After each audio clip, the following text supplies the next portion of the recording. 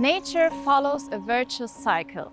A circular nature does not produce any residuals. But the natural cycle is disrupted by worldwide plastic waste. Corporate innovators such as BIOTEC have been translating this challenge into their unique business model. The company owns 200 patents dedicated primarily to the waste-avoiding food and healthcare sectors. Let's get deeper into BIOTEC's successful business model.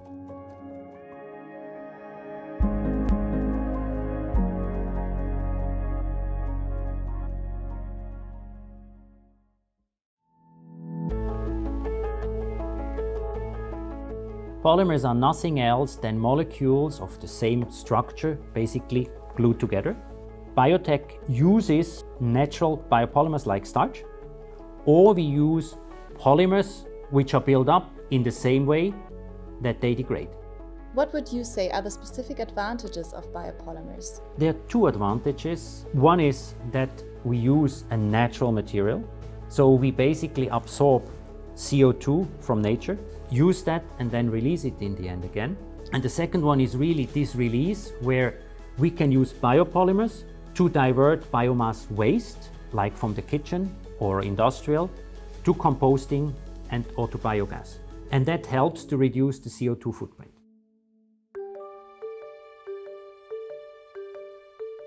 So here are some products that some of our customers have made from our bioplast material.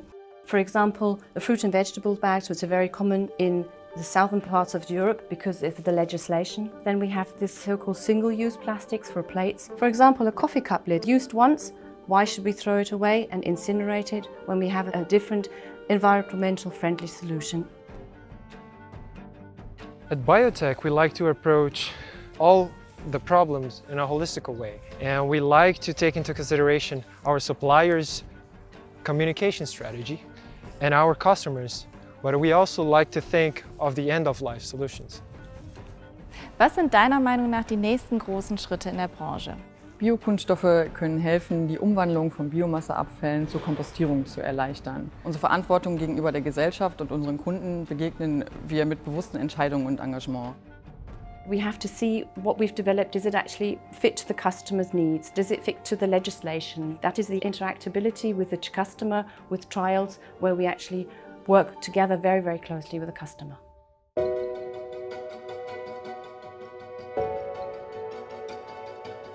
Do you think biopolymers can be able to replace any kind of non-bioplastics? That's already happening right now. We see it in the bag market, we see it in the coffee capsules, in the tea bags. If we want to reduce the global footprint, we need to get the biomass out of the landfill and out of incineration to get it back to the farmers.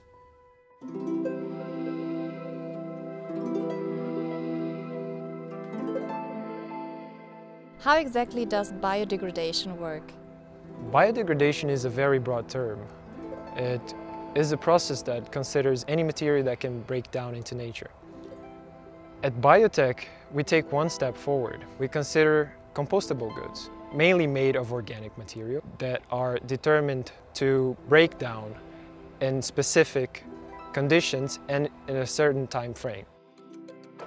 When we try to reduce the greenhouse gas emissions, we know that 26% were from the food industry, where 6% was only due to food waste. So as soon as we can avoid this food waste by packing, we should pack, but we should pack smart.